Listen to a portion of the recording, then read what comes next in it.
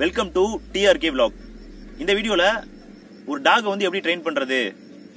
அது என்ன டாகா வேணா இருக்கலாம் பட் நம்ம மெயினா ஃபோக்கஸ் பண்றது வந்து பாத்தீங்கன்னா ஒரு ஸ்ட்ரீட் டாக் அப்படின்னு எடுத்துக்கிறோம். ஸோ அதுதான் பேஸ் ஸோ அதுக்கு மேல நீங்க என்ன டாக் வேணா ஒரு ஃபாரின் பீடா இருக்கலாம் இல்ல நாட்டு நாயா இருக்கலாம் எதுவா வேணா இருக்கலாம் பட் எல்லாத்துக்குமே பொருந்தும் அப்படிங்கறத தெரிஞ்சுக்கோங்க.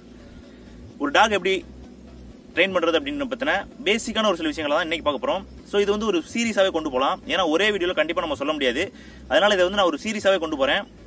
இது வந்து பாத்தீங்கன்னா நம்பர் ஒன் இந்த சீரிஸ் வந்து பார்த்தீங்கன்னா ஒன்று இதில் வந்து ஒரு சில பேசிக்கான விஷயங்களை மட்டும் பார்ப்போம். ஒரு டாக் வந்து எப்படி இது பண்ணலாம் அப்படிங்கிற பேசிக்கான விஷயங்கள். அதாவது இப்போ நீங்கள் வர சொன்னீங்கன்னா வரணும் போக சொன்னால் போகணும் உட்கார சொன்னால் உட்காரணும் ஒரு பொருளை போய் எடுத்துட்டு வர சொன்னால் எடுத்துட்டு வரணும். ஸோ இதான் வந்து பார்த்தீங்கன்னா பேசிக்கான ஒரு சில விஷயங்கள். ஸோ இதை இன்னைக்கு பார்ப்போம்.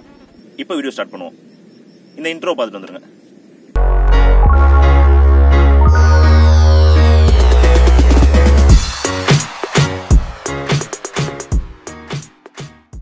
ஸோ ஃபர்ஸ்ட் பாயிண்ட் என்ன அப்படின்னா முதல்ல ஒரு நல்ல டாக் வந்து நம்ம தேர்வு பண்ணணும். செலக்ட் பண்ணணும். ஒரு நல்ல டாக் செலக்ட் பண்ணணும். அதில் வந்து ரொம்ப கரெக்டாக இருந்துக்கோங்க. ஸோ அது எப்படி செலக்ட் பண்ணுறது அப்படிங்கிறத நான் அடுத்த வீடியோவில் கண்டிப்பாக உங்களுக்கு நான் சொல்கிறேன் ஸோ அது சம்மந்தமாக அந்த ஃபீல்டில் இருக்கிற ஒருத்தர்கிட்ட கேட்டு அவரே முடிஞ்சால் நான் சொல்ல வைக்கிறேன். நல்ல டாக் எப்படி செலக்ட் பண்ணணும்னு சொல்லிட்டு. ஒரு சின்ன எக்ஸாம்பிள் சொல்கிறேன் நம்ம நல்ல ஒரு டாக் செலக்ட் பண்ணிட்டோம். பட் அதுக்கு ட்ரைனிங் சரியில்லை அப்படின்னா அது வந்து வேட்டைக்கோ இல்லை மற்ற விஷயங்களுக்கோ செட் ஆகாது. ட்ரைனிங் நல்லா இருக்கு. பட் அந்த டாக் அந்த அளவுக்கு சரியில்லை அப்படின்னா இதுவும் செட் ஆகாது. ஒரு நல்ல டாக் அதுக்கேற்ற ட்ரைனிங் ஸோ இதுதான் பர்ஃபெக்டாக இருக்கும். முதல்ல ஒரு நல்ல டாக் செலக்ட் பண்ணிக்கோங்க. அடுத்த விஷயம் என்னன்னா அதுக்கான நேம் அதுக்கான நேம் நீங்க எப்படி வைக்கணும் அப்படின்னா யூஸ்வலா எல்லாரும் வைக்கிற மாதிரி இப்போ எப்படி சொல்றதுன்னா ஜிம்மி டாமி பப்பி இந்த மாதிரியே வைக்காம ஜாக்கி கொஞ்சம் டிஃப்ரெண்டா வைங்க. இந்த மாதிரி இந்த மாதிரி இப்போ நான் சொன்ன நேம்லாம் வைக்காம கொஞ்சம் டிஃப்ரெண்டா அதாவது எப்படி சொல்றதுன்னா இப்போ ஒரு எக்ஸாம்பிளுக்காக நான் உங்களுக்கு சொல்றேன். இப்போ ஒரு ரொனால்டினோ ரொனால்டினோ இல்லை ஸோ ரொனால்டோ அப்படிங்கிற மாதிரி சும்மா வச்சோம் அப்படின்னா ஒரு எக்ஸாம்பிளுக்காக சொல்றேன். எனக்கு பேர் எதுவும் டக்குன்னு சடனாக ஞாபகம் வரல ஸோ அதுக்காக உங்களுக்கு சொல்றேன். இந்த மாதிரி கொஞ்சம் டிஃப்ரெண்டான பேர் வைக்கும்போது இப்போ உங்க தெருவில் ஒரு நாலஞ்சு நாய் இருக்கும்போது எப்படி பார்த்தாலும் ரெண்டு மூணு நாய்க்கு ஜாக்கின்னு தான் பேர் வச்சிருப்பீங்க. ஸோ உங்க நாய்க்கு கொஞ்சம் டிஃப்ரெண்டா இருக்கும்போது என்ன ஆகும் அப்படின்னா இப்போ நீங்க கூப்பிடும்போது வந்து பாத்தீங்கன்னா அதுவே கொள்ள கன்ஃபியூஸ் ஆகும். இப்போ எல்லா நாய்க்கு பப்பினே வச்சுட்டு நீங்க உங்க நாய்க்கு பப்பினே வச்சுட்டு பப்பி அப்படின்னு கூப்பிடும்போது எல்லா நாய் வரும். அப்படி இல்லைன்னா எல்லாமே குழப்பமா இருக்கும். உங்க நாய்க்கு குழப்பமா இருக்கும். ஸோ அப்படிங்கும்போது உங்க நாய்க்கு யூனிக்கா தனியா தனித்துவமான ஒரு பேர் வைங்க. ஸோ அந்த மாதிரி வைக்கிறது நேம் வந்து ரொம்ப கரெக்டா வச்சுக்கோங்க. வித்தியாசமா வைங்க. அது நல்லா இருக்கு நல்லா இல்லை அப்படிங்கிறது அடுத்த பட்சம் ஸோ பட் வித்தியாசமா வச்சுக்கோங்க. ஸோ அடுத்தது என்ன அப்படின்னா டிஃப்ரெண்டான சவுண்டு ஸோ நேமை தவிர்த்து ஒரு சவுண்டு உங்களுக்குன்னு வச்சுக்கோங்க. எப்படி சொல்றதுன்னா ஒரு விசிலா இருக்கலாம் அல்லது ஏதோ ஒரு இன்ஸ்ட்ருமெண்ட் ஏதோ ஒரு விஷய பொருளை வச்சு நீங்க கூப்பிடலாம். அதாவது ஒரு ரெண்டு கிலோமீட்டர் டிஸ்டன்ஸ்ல இருந்து நீங்க கூப்பிடும்போது உங்க நாயை நீங்க தான் உங்க நாயை கூப்பிடுறீங்க. ஒரு பர்டிகுலர் சவுண்டு கேட்டோன்னே நீங்க தான் அப்படின்ற மாதிரி தெரியுற மாதிரி வச்சுக்கோங்க. இப்ப பேருன்னு வச்சுக்கோங்களேன். இப்ப என்னோட நாய்க்கு வந்து நான் ரொனால்டோ அப்படின்னு பேர் வச்சிருக்கேன் அப்படின்னா அதை நான் கூப்பிட்டாலும் வரும் என் ஃப்ரெண்டு கூப்பிட்டாலும் வரும் யாரு கூப்பிட்டாலும் வரும். ஸோ அதை தான் சொல்றேன். அப்படிங்கிறப்போ ஒரு விசிலோ அல்லது இதோ இப்போ ஒரு விசில் ஒரு சிலர்லாம் பார்த்தீங்கன்னா அந்த விசில் அடிப்பாங்க. ஸோ அந்த மாதிரி யாருமே அடிக்க முடியாது அந்த மாதிரி விசில். ஸோ அந்த மாதிரி யூனிக்காக வச்சுக்கோங்க. அதாவது எப்படி சொல்றோம் கொஞ்சம் டிஃப்ரெண்ட்டாக வச்சீங்க அப்படின்னா நீங்கள் கூப்பிடும்போது உங்களை வேட்டைக்கெல்லாம் இருக்கும்போது இது ரொம்ப யூஸ்ஃபுல்லாக இருக்கும். ஸோ இந்த மாதிரி விசில்ஸ் அடிக்கிறது இந்த மாதிரியான விஷயங்கள்லாம். இப்போ ஃபார் எக்ஸாம்பிள் சொல்லணும் அப்படின்னா எப்படின்னு சொல்றேன்னா இப்போ என்னோட புறா இருக்கணும் இங்கே இப்போ என்னோட புறா வந்து பார்த்தீங்கன்னா மேலே ஒரு உங்களுக்கே தெரியும் மேலே ஒரு கூடு வச்சிருக்கேன் சைடில் ஒரு கூடு வச்சிருக்கேன்.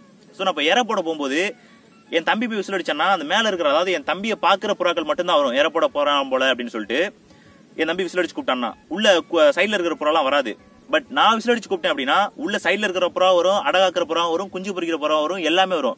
ஸோ அதுதான் வந்து எனக்கும் அவனுக்குள்ள வித்தியாசம். ஸோ நான் சொல்றது உங்களுக்கு புரியுதுன்னு நினைக்கிறேன். ஸோ அந்த விசில்லையே நம்மளோட பெட்ஸ் எல்லாத்தையுமே நம்மளோட இதுலயே வந்து இது பண்ற மாதிரி முடிஞ்ச வரைக்கும் வச்சுக்கோங்க. ஸோ இப்போதான் வந்து நம்ம டாபிக் உள்ளே வர்றோம். பொதுவா நாய்ங்களுக்கு நம்ம சொல்லிக் கொடுக்க வேண்டிய பேசிக்கான ஒரு சில கமெண்ட்ஸ்லாம் இருக்கு. என்னென்னா வா உட்காரு. அதை போய் எடுத்துட்டு வா. ஸோ இந்த மாதிரியான விஷயங்கள்.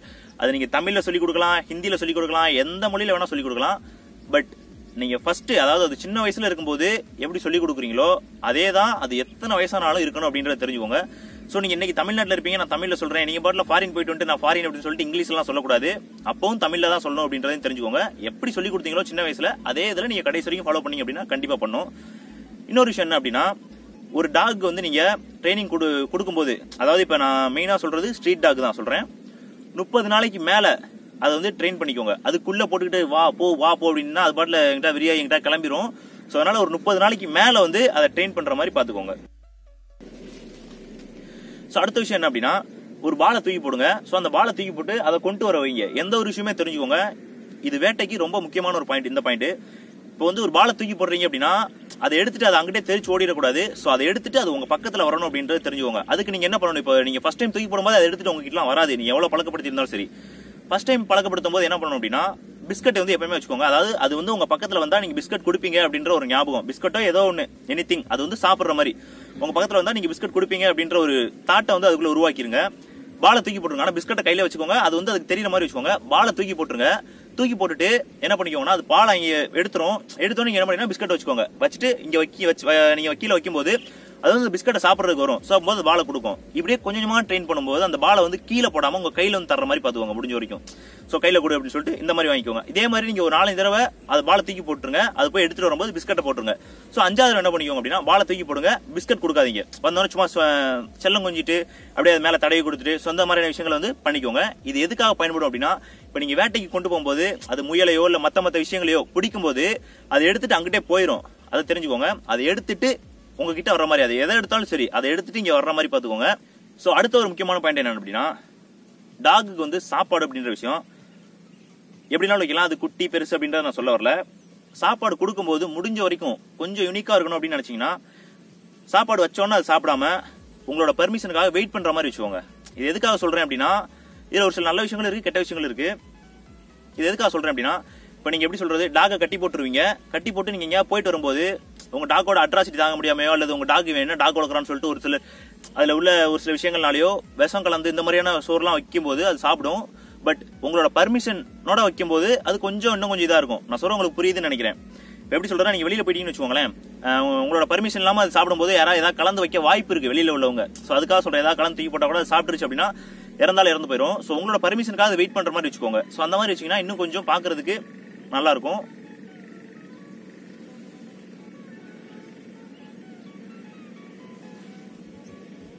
ஸோ இன்னொரு விஷயம் என்ன அப்படின்னா டாக்ஸ் வந்து என்ன பண்ணிக்கோங்க அப்படின்னா நைட் டைம்ல முடிஞ்ச வரைக்கும் முழிக்கிற மாதிரி பாத்துக்கோங்க அதாவது நைட் டைம்ல தூங்கிட்டு பகல் டயத்துல முழிக்கிற மாதிரி இருக்க கூடாது பகல் டயத்துல கொஞ்சம் கொஞ்சம் தூங்கிட்டு நைட் டைம்ல முடிஞ்ச வரைக்கும் அதை வந்து காவலுக்காக பழக்கப்படுத்திடுங்க. இது எல்லாத்தையும் நான் எதுக்காக இப்ப சொல்றேன் அப்படின்னா இது எல்லாத்தையும் சின்ன வயசுல பழக்கம் பண்ணா மட்டும்தான் முடியும். ஸோ பெருசாயிட்டு பழக்கப்படுத்துறது அப்படிங்கிறது சாத்தியமே கிடையாது. ஸோ அதுக்காக தான் இது வந்து பேசிக் டிப்ஸ்ல இது எல்லாத்தையும் கொண்டு வந்தேன்.